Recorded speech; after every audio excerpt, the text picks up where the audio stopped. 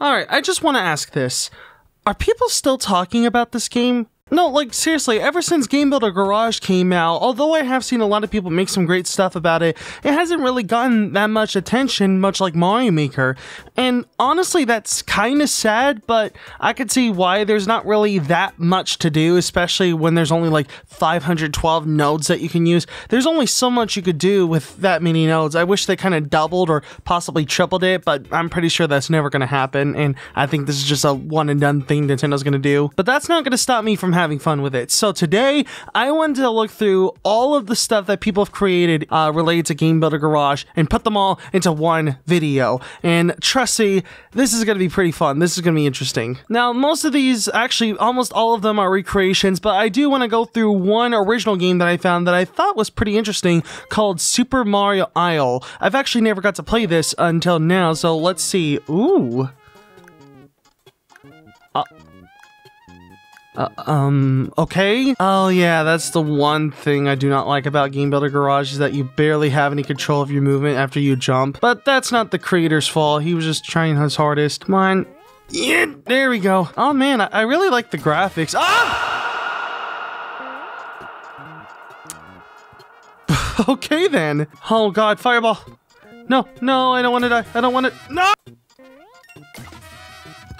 Oh god, that is a lot of nodons. Now, originally I wanted this video to be another submitted by viewers thing in which uh, viewers were able to submit their stuff through a Twitter thread. However, because there wasn't really that many submissions, I decided to retire it and make this video but I will do the two submissions that were there when I still had it up at the time. The first one coming from my boy Renchi247, and this one is a little recreation of my game, Nessy the NES Robot. It's not a recreation, but it is like an engine thing that he did, and apparently he added some of my sprites to the game.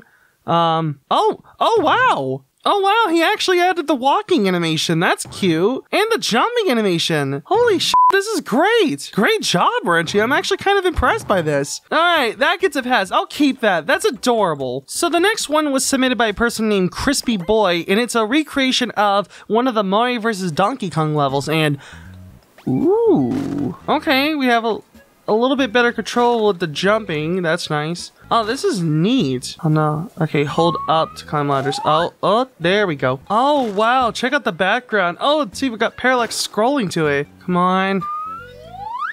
Yep, there we go. I've actually never played the first Mario vs. Donkey Kong, so this is actually very interesting. Oh no, no, no, no, no, no, please, please! No. Okay, watch out for the oil things, that's cool. And that'll be it for this. And there we go. Speaking of Donkey Kong, the Donkey Kong 25 meter stage recreation. Oh, it even has the music. That's cute. Oh wow, this is this feels nice. Okay, this makes it a bit easier. They don't go down the ladders. Oh my god, yes! I did it! Uh, oh no. Uh, I'm stuck. Yeah, it, it's not letting me climb up. I think I'm stuck. And the bonus is about to drain. Mario, please! Mario! Jumpman! Whatever the f you're going by now! Please! Let me jump! Please! Oh no! He f***ing exploded! Alright, alright, I think that's enough for now. Okay, that was that was a pretty decent recreation. I like that. So next up is Beat Saber. Uh, there's actually two versions of this. Okay, so it looks like there's no direction boxes. You just need to focus on touching them. And this kind kind of game would probably make more sense using the VR kit. Um, that was interesting. Let's try its sequel. Let's see what it does. Okay, I see they fixed a- Oh god, it's a lot faster. I'm having a little bit of uh, perspective problems. I think this is why a game like this was kind of designed for VR in mind, so that you could actually see where you're hitting the boxes. Because here, I can't really see it that well, unless it's like, like shake the controller. Uh, well, it's still a decent job. I, I have to give the person that made this credit. This is this is pretty decent. Next up is one I'm actually kind of interested in. It's a recreation of Super Mario Run.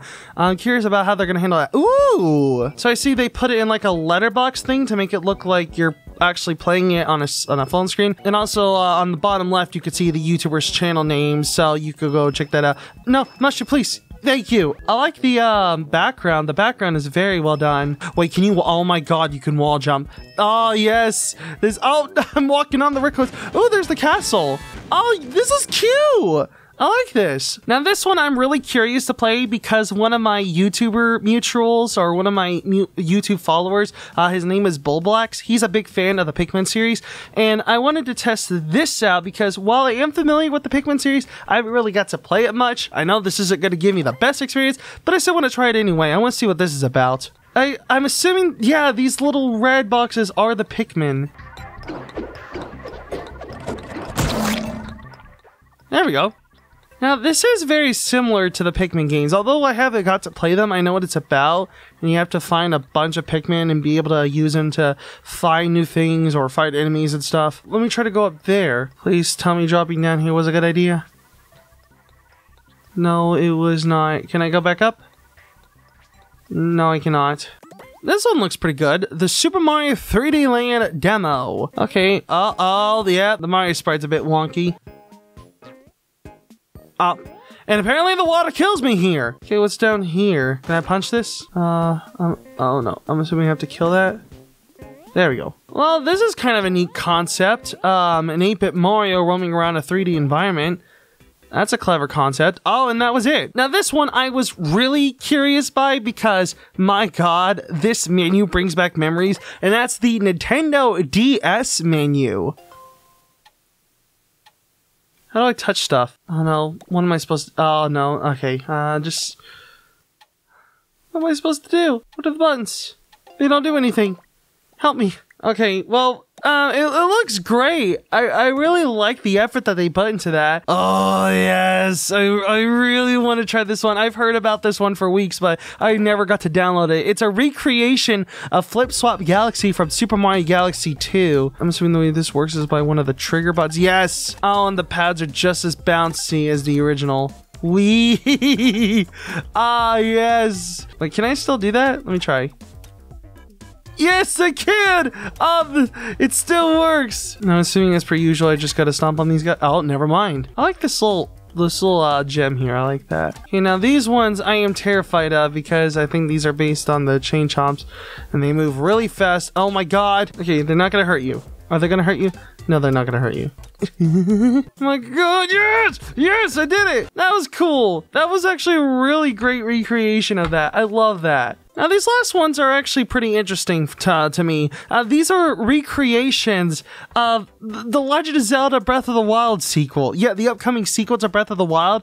Apparently, somebody thought the trailer was just enough material for them to be able to recreate Breath of the Wild Part 2 or whatever they're going to name the upcoming sequel to Breath of the Wild. This is pretty cool. Like, seriously, I, the fact that this person took the time to recreate the mechanics of Breath of the Wild and make their own version of the sequel he's dead. Anyway, making the sequel out of it, you just just using the trail alone, that's pretty cool. I think that's very fascinating. All right, so okay, we got a free roaming camera. That is nice. That is very nice. You can run, but it uses stamina. Oh, I see. That's how the stamina bar works. It's it's it's getting smaller and smaller. So we'll run, jump, and glide. Oh wow, that's so cool. Uh, so this these blue platforms teleport you up to the top. So we'll just touch it and it would jump. Wow, that is cool. This is really the most compact Game Builder Garage game I've ever seen. I can assert my dominance. Oh, wow, this is neat. Oh, wait, I'm assuming these puddles take me all the way back down.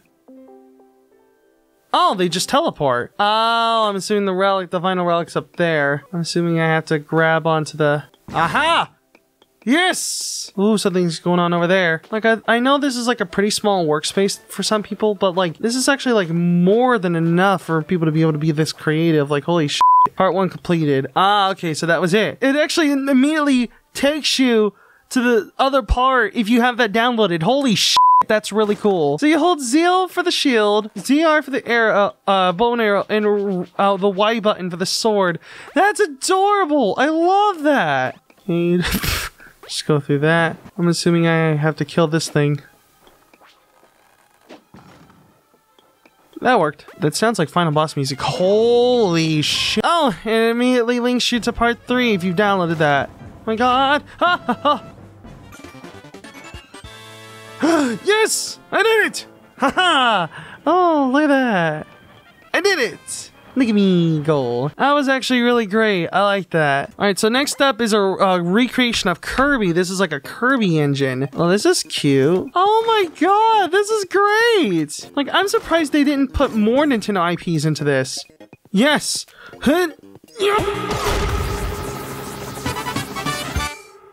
Yes! Let's go! All right, so the next one is actually a recreation of, apparently a full-on recreation of PT. I also like the little close-up view and also the fact that there, there's a, a, a fog in the middle of it. I like that. That's cute, the way they handled the clock thing. And I also like the fact that it's all first person. Okay, so...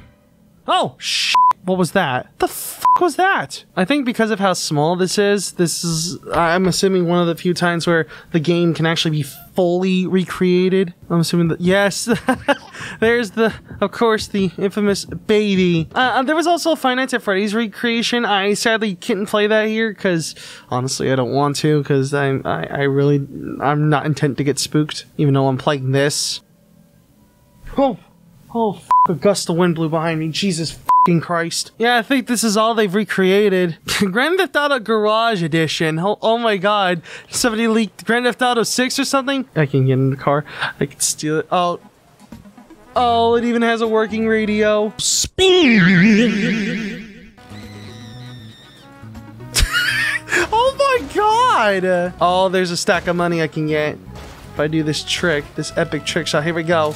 Epic stunts. Holy f who is that? I see there's a stack of money on top of the buildings. Oh my god, you even have a gun!